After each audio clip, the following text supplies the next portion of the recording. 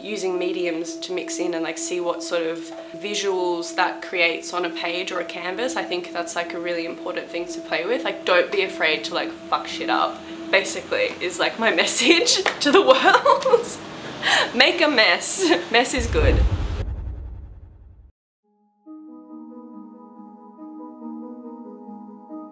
Usually for me just painting a portrait the process is to photograph a model.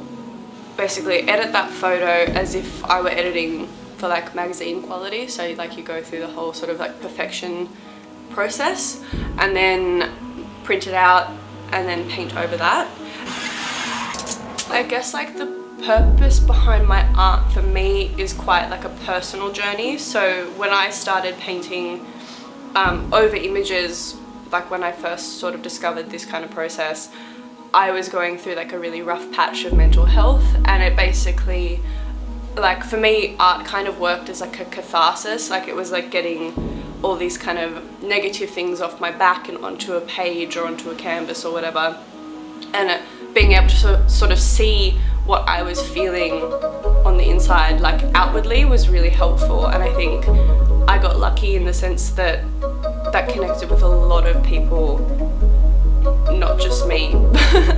because I think what I felt is actually quite a common feeling.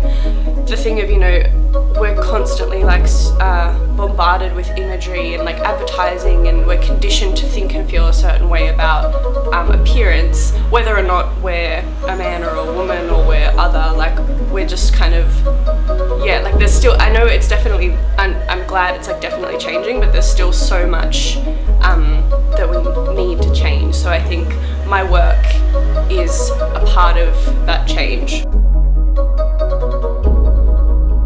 What happens when you break the rules on like what makes a pretty picture?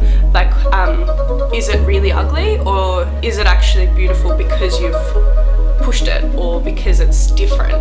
So I think it's about, really I think the work is in itself is about celebrating your differences and accepting your differences and owning that rather than like playing by the rules all the time.